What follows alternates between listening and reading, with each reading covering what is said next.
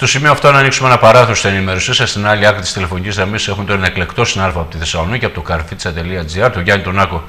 Γιάννη, να σε καλησπέρισω.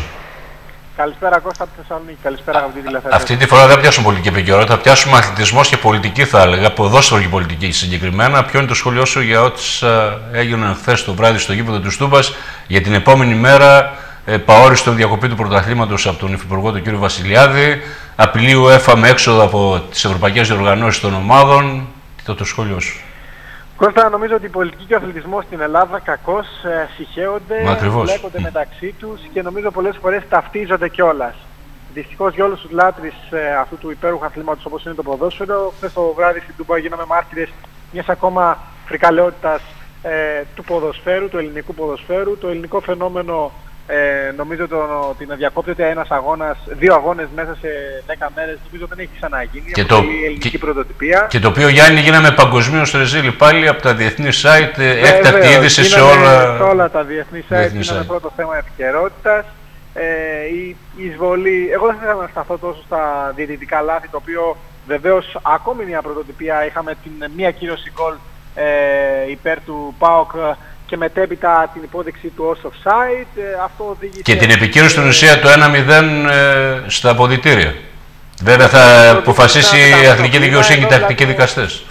Ο επόπτης ενώ δηλαδή στην αρχή δεν είχε δείξει κάποιο offside, έπειτα και τις διαμαρτυρίες ε, των παραγόντων και των παικτών της ΑΕΚ και ενώ οι παίκτες του ΠΑΟΚ πανηγύριζαν, εν τέλει ε, υπέδειξε offside με τον πάγκο του ΠΑΟΚ να εκρήγνεται, τους ποδοσφαιριστές να διαμαρτύρονται και να έρχονται πολύ κοντά στη συμπλοκή και βεβαίως το το κερασάκι στην Τούρτα ήταν η εισβολή του μεγαλομέτωχου και του Προέδρου του ΠΑΟΚ του κ. Ιβάν Τσαβίδη. Το γκολ πάντως Γιάννη να σε διακόψω, με συγχωρείς. Ναι, ναι. Το γκολ ε, το κατακύρωσε όσον αφορά το, το τι έγραψε το φίλο αγώνο.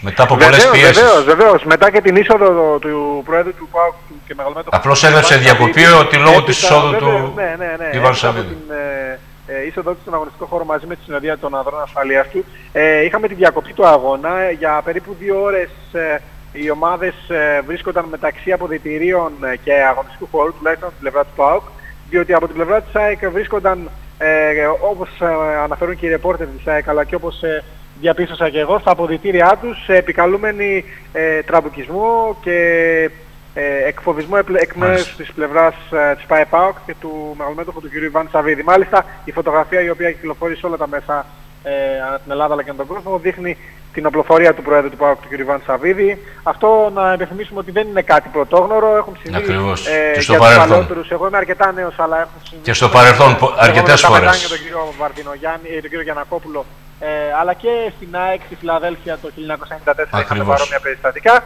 Τον απλοφορεί κάποιος άνθρωπος ε, της αξίας ε, και της σημαντικότητας του κ. Σαββίδη δεν είναι παράξενο. Το παράξενο το οποίο κίνησε και τις διαδικασίες αυτοφόρου ε, μέχρι και σε αργά το απόγευμα ήταν το ότι ε, επετράπη η είσοδος ε, μέσα στο γήπεδο παρουσία και της οπλοκατοχής. Γιάννη, δηλαδή η οπλοκατοχή είναι αυτή η οποία Αυτά ε, να... αποτελεί Ακριβώς. Το η ουσία είναι να πάμε στην επόμενη μέρα. Μήπως χρειάζεται ο Μαχαίρη να μπει στον κόκκολο. Ο Υφυπουργός Αθλητισμού Γιώργος Βασιλιάδης ε, αποφάσισε μετά από συνάντηση με τον Πρωθυπουργό τον Αλέξη του Τσίπρα για διακοπή επαόριστον του πρωταθλήματος. Ναι, είχαμε μια διακοπή επαόριστον του πρωταθλήματος. Θα ανακοίνωσε ο Υφυπουργός κ. Βασιλιάδης σε δημοσιογράφους έξω από το Μέγαρο Μαξίμου το μεσημέρι. Ε, και ενώ κινδυνεύει από την UEFA να βρεθεί... και από την UEFA κιόλας, ε, διότι τέτοια ρεζιλίκια ε, διασύρουν τη χώρα μας και όχι μόνο η δική μας ομοσπονδία. Ακριβώς, Γιάννη, όχι μόνο η δική μας ομοσπονδία και της Αγγλίας και της Γαλλίας για τα πρόσφατα επεισόδια που έχουν γίνει. Και με το γνωστό με το θάνατο και αστυνομικού βέβαια στο γήπεδο του Σκορπάου. Βεβαίως, είχε προχωρήσει η κυβέρνηση σε μια αντίστοιχη αναστολή της λειτουργία του προγράμματο κατά τη διάρκεια της προηγούμενης χρονιάς. Νομίζω όμως ότι το μήνυμα δεν εστάλει σε αυτούς ε, που πρέπει. Οι απαραλήπτες δεν το έλαβαν ποτέ και θεωρώ σωστή την κατεύθυνση της κυβέρνησης να διακόψει το πρωτάθλημα επαόριστον έως ότι βρεθεί η κατάλληλη λύση. Νομίζω ότι εάν και ο κύριος Τίπρας με διαφορετικές πολιτικές καταβολές ε, σύμφωνα με τα όσα γνωρίζουμε σε σχέση με τη Μάργαρετ Θάτσερ, εν τούτης όμως Νομίζω ότι αν ακολουθήσει το βήμα της κάθεσης που ακολούθησε η περίφημη Μάγκη, νομίζω ότι το ελληνικό ποδόσφαιρο θα θεραπευτεί. Και όταν ε, ενώ να ακολουθήσει τα βήματα της ε, ε, Μάργαρετ Τάτσερ, ενώ φυσικά να απαγορεύσει την έξοδο, την έξοδο των ομάδων, των ελληνικών ομάδων προς την Ευρώπη και την αφαίρεση βαθμών και των κεκλεισμένων θυρών για αρκετά χρόνια. Νομίζω ότι μόνο έτσι μπορεί το πρόβλημα να λυθεί κόκαλο, ε, από το κόκαλο, να μπει το μαχαίρι πολύ βαθιά και να σταματήσουν πλέον τόσο οι φύλαθλοι μέσω των εισβολών στο γήπεδο και των επεισοδίων που γίνονται εντός και εκτός του αγωνιστικού χώρου, αλλά όσο και οι πρόεδροι και οι παράγοντες να σταματήσουν να καπηλεύονται ε, τα ονόματα, την ιστορία και φυσικά το πάθος και την αγωνία κάθε μεροκαματιά, ο οποίος ε, πηγαίνει στο γήπεδο προκειμένου να ξεσκάσει από, τη, από αυτή τη δύσκολη οικονομική συγκυρία που βιώνει η χώρα μας. Μάλιστα. Γιάννη, να σε ευχαριστήσω πάρα πολύ. Καλό βράδυ, να είσαι καλά. Εγώ σας ευχαριστώ Κώστα, καλώς βράδυ.